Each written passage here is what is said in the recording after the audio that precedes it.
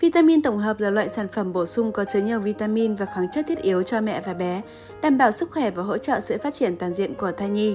Tuy nhiên, việc bổ sung vitamin như thế nào để hấp thụ một cách tốt nhất thì mẹ bầu hãy cùng tham khảo những kinh nghiệm sau đây nhé. 1. Nên uống vitamin tổng hợp bà bầu từ trước khi mang thai.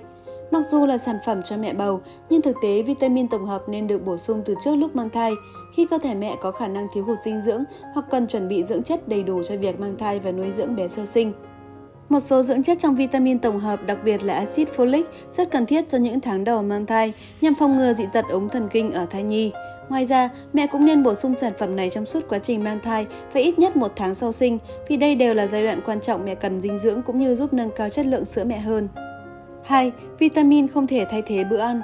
Vitamin tổng hợp chỉ là sản phẩm bổ sung giúp củng cố thêm dưỡng chất và hỗ trợ phần nào cho các mẹ thiếu chất, ăn uống kém hoặc không được cung cấp dinh dưỡng đầy đủ. Còn thức ăn là nguồn bổ sung vitamin khoáng chất hoàn hảo cho cơ thể vì giúp cơ thể hấp thu tối đa. Chế độ ăn cân bằng với 4 nhóm thực phẩm gồm đạm, vitamin, khoáng chất, tinh bột và chất béo đóng vai trò quyết định đến cung cấp năng lượng và dinh dưỡng cho thai phụ. 3. Nên uống trong hoặc sau khi ăn sáng. Một kinh nghiệm uống vitamin cho bà bầu đáng nhớ khác là thời điểm sử dụng. Thời điểm được cho là thích hợp nhất để bổ sung vitamin tổng hợp cho mẹ bầu là trong hoặc ngay sau bữa ăn sáng. Lúc này, mẹ vừa nạp vào một hàm lượng nhất định chất béo. Chúng sẽ giúp các vitamin, khoáng chất tan trong chất béo như vitamin A, D, E, K được hấp thụ tốt nhất. Bổ sung vào buổi sáng cũng giúp mẹ có thêm năng lượng để bắt đầu một ngày làm việc mới hiệu quả hơn. Bên cạnh đó, trong vitamin tổng hợp có một số thành phần khó tiêu hóa như canxi, sắt, magie, vì vậy bổ sung vào buổi sáng cũng giúp cơ thể có thời gian để hấp thụ vào cơ thể, tránh nguy cơ nóng trong, táo bón. 4. Nên duy trì giờ uống cố định. Một trong những cách giúp mẹ không bị quên khi sử dụng thuốc nói chung là nên uống vào một giờ cố định. Điều này giúp mẹ luôn tỉnh táo nhận ra hình như mình đang quên một điều gì đó khi đúng giờ sử dụng mà vẫn chưa uống.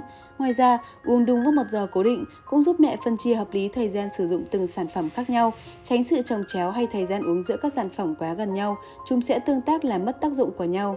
5. Nên uống vitamin có nguồn gốc thiên nhiên.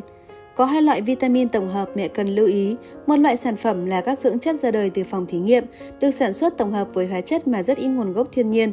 Loại này thường rất khó chuyển hóa.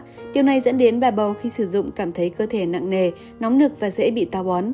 Ngược lại, một số sản phẩm vitamin tổng hợp chất lượng cao được sản xuất bởi những thương hiệu uy tín sẽ sử dụng những nguyên liệu được chiết xuất trực tiếp từ thực vật.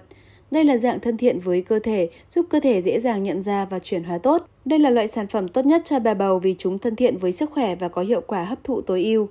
Hy vọng với những chia sẻ trên, các mẹ đã có thêm những kinh nghiệm hữu ích trước khi lựa chọn và sử dụng những loại vitamin phù hợp để bổ sung dưỡng chất trong thai kỳ.